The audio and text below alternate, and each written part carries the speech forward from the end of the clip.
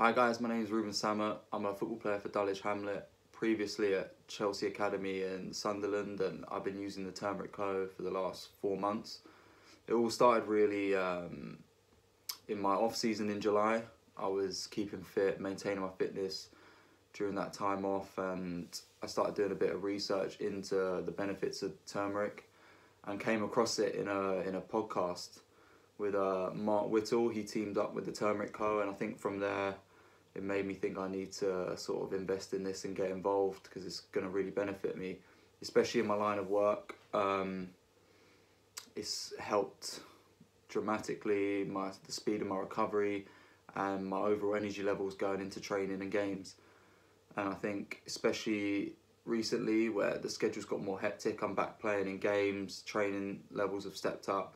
This has helped me recover tenfold quicker I'm going into games Saturday, Tuesday, Saturday, and feeling fresh again. But energy levels and overall well-being, happiness, I'm feeling a lot healthier and fitter. And even during this pandemic and uh, illness going round, I feel a lot healthier myself, and I feel like my immune system's um, a lot stronger because of it.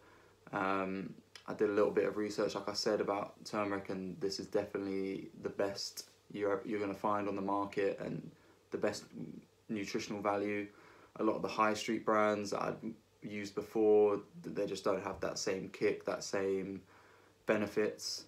Um, and even for me, getting up five thirty in the morning to start my day and head out to training, the the flavour and taste and the spice gives you a nice kick to start your day, and you feel a lot more alert and a lot more awake.